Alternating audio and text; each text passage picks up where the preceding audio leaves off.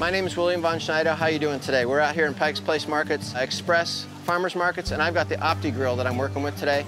And the biggest thing that I like about the whole thing is that it's actually keeping the moisture inside the burger. Oh wow, it's really delicious. It definitely trapped in uh, the moisture. Right when you bite into it, all the dishes are coming out. It's actually dripping all over me right now, which is great. It's really doing a great job of caramelizing and browning the outside, which I love. Tastes really good. A little bit grilled from outside, which tastes really nice, but it's juicy inside. I like it. Very moist, the way a burger should be, so it's very delicious. Yeah, it's not dry at all, that's for sure. Here we go, right off the grill. Ooh, that's good. Have you tried one of these?